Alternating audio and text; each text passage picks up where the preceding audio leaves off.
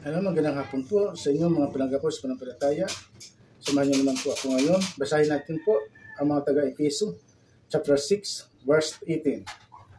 Na nagsipanalangin kayo sa Espiritu ng lahat ng panalangin at daing sa buong magpanahon.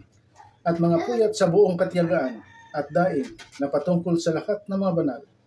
At sa akin upang kayo'y pagkalooban ng pananalita sa pagbubuka ng aking bibig. Ipakilalang may katapangan ang hiwaga ng Ebanghelyo na dahil dito ako'y isang sugong natatanikalaan upang sa ganito ako'y magsalita na may katapangan gaya ng nararapat na aking salitain.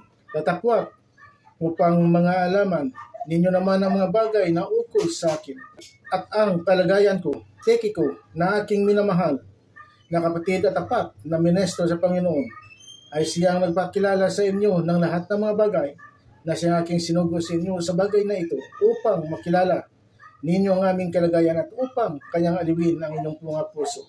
Kapyapaan nawa sa mga kapatid at pag-ibig na pananampalataya mula sa Diyos Ama at sa Panginoong Heso Kristo.